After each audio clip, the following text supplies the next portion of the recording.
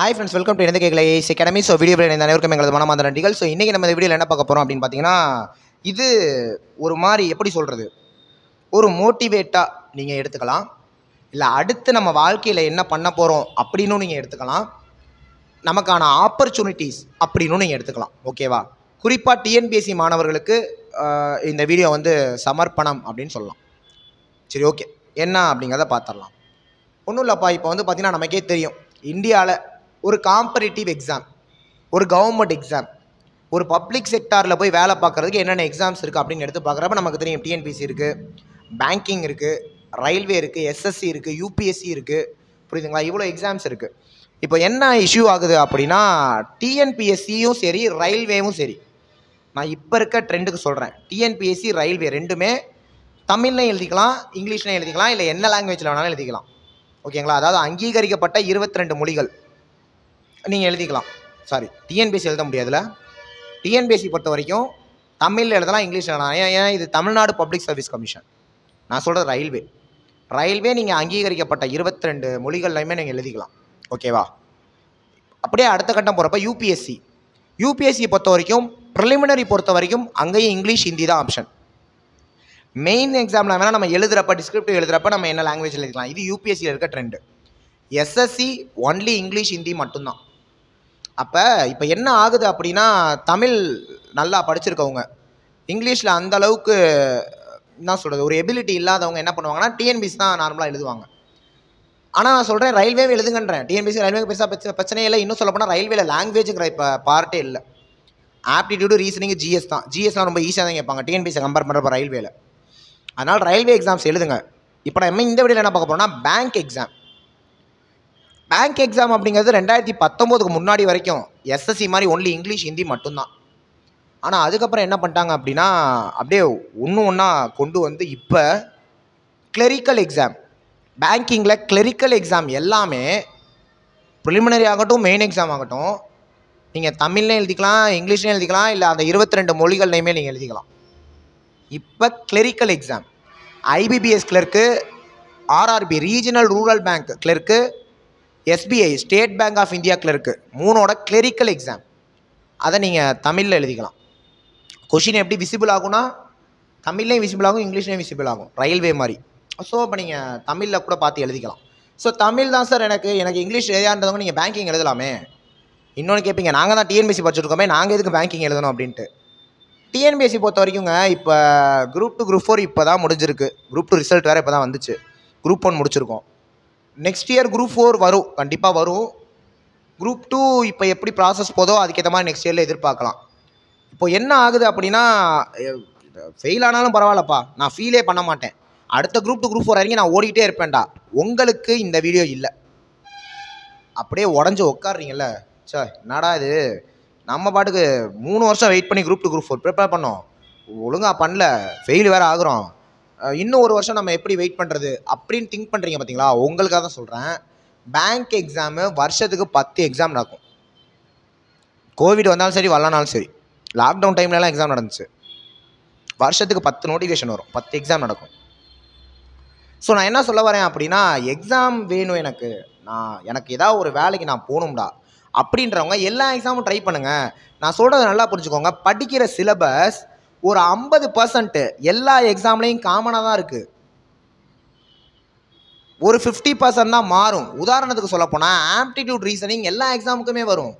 Current affairs எல்லா எக்ஸாமுக்குமே வரும். இப்போ பேங்கிங் நீங்கள் வரப்போ ஜிஎஸ் படிக்கிறோம்ல ஜென்ரல் ஸ்டடீஸ் அது வராது.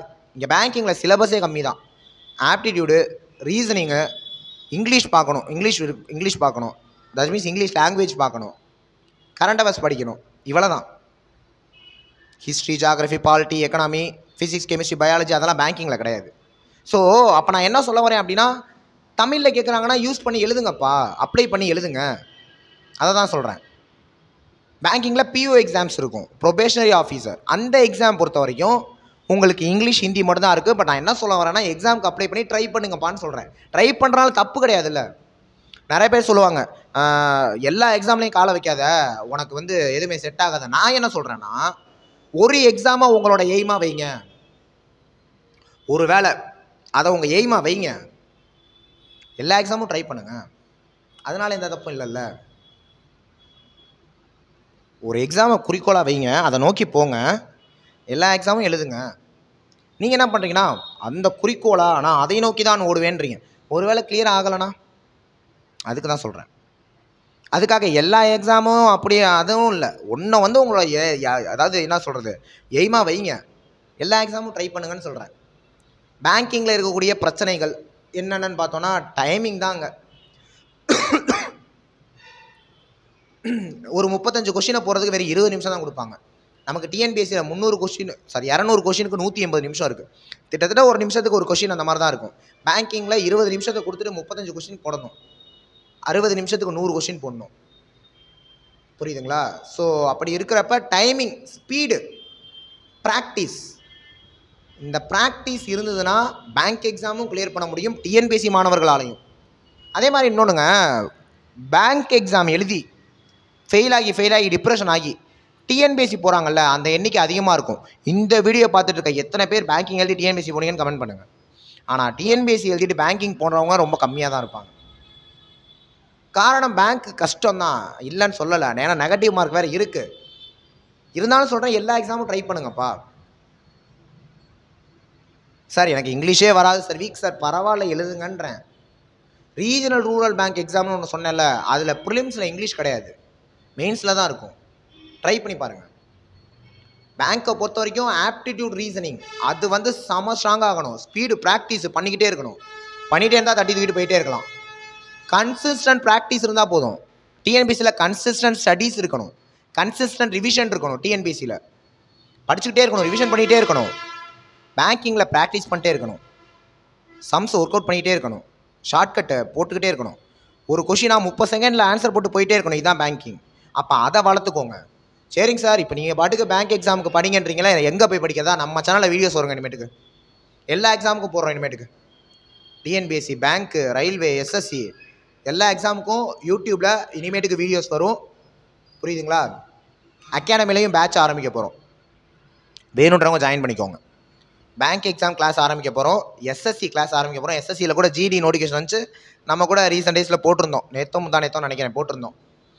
ரயில்வே கிளாஸ் டிஎன்பிசி எல்லாத்துக்குமே கிளாஸ் இனிமேட்டுக்கு போயிட்டே இருக்க போகுது. ஓகேங்களா? ஜாயின் பண்ணுறவங்க பண்ணிக்கோங்க. ஜாயின் பண்ணணும்னா seven seven zero eight one nine seven two eight one கீழே டிஸ்கிரிப்ஷனில் மொபைல் நம்பர் இருக்கும். ஸோ பேங்க் எக்ஸாமும் கிளியர் பண்ணலாம். டிஎன்பிஎஸ்சியும் கிளியர் பண்ணலாம். ரயில்வேயும் கிளியர் பண்ணலாம். எஸ்எஸ்சியும் கிளியர் பண்ணலாம். நினச்சா பண்ணலாம். நீங்கள் படிக்கிற சிலபஸில் ஐம்பது பர்சன்ட் எல்லாத்துக்குமே சேமாக தான் இருக்குது மீதி ஐம்பது பர்சன்ட் தான் மாறும். இன்னும் சொல்லப்போனால் டிஎன்பிஎஸ்சி ரயில்வே அப்படியே ஒரே மாதிரி தான் இருக்கும் சொல்லப்போனால் டிஎன்பிஎஸ்சியோட ரயில்வே சிலபஸ் கம்மி தான். லாங்குவேஜ் கிடையாது. ஆப்டி ரீசனிங் ஜென்ரல் அவேர்னஸ் தான். எஸ்எஸ்சியாக இங்கிலீஷ் மட்டும் எக்ஸ்ட்ரா வரும். பேங்க்கில் இங்கிலீஷ் ஜென்ரல் அவேர்னஸ் கிடையாது. ஜென்ரல் அவேர்னஸ் அந்த ஜென்ரல் ஸ்டடி ஜிஎஸ் ஸோ இதுதான். சொல்லப்போனால் எனக்கு தெரிஞ்சு டிஎன்பிஎஸ்சி தான் அப்படியே கடல் மாதிரி இருக்கும் சிலபஸ் ரயில்வே கம்பேர் பண்ணாலும் சரி பேங்க்கை கம்பேர் பண்ணாலும் சரி ரெண்டுலேயுமே சிலபஸ் கம்மி. எஸ்எஸ்சி கொஞ்சம் டிஎன்பிஎஸ்சியோட அப்டேட்டாக இருக்கும். காரணம் அங்கே இங்கிலீஷ் இருக்கும். கரண்ட் அஃபேர்ஸ் கொஞ்சம் டெப்த்தாக கேட்பாங்க எஸ்எஸ்சியில் அப்போ இவ்வளோ அனாலிசிஸ் வந்து பார்த்தீங்கன்னா எக்ஸ்பீரியன்ஸில் கிடச்சிரும் உங்களுக்கு. அதனால் எல்லா எக்ஸாமும் ட்ரை பண்ணுங்கள் ப்ரிப்பேர் பண்ணுங்கள் ஒன்றை எய்மாக வைங்க.